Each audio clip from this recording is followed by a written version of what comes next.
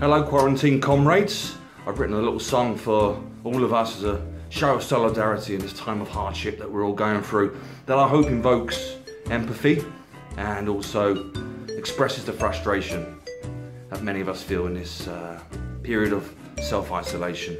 It has the rather cumbersome title of The Beauty of Solidarity Lies Within.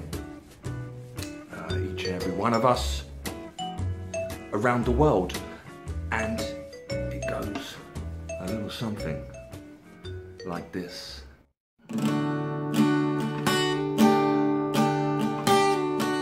Ah!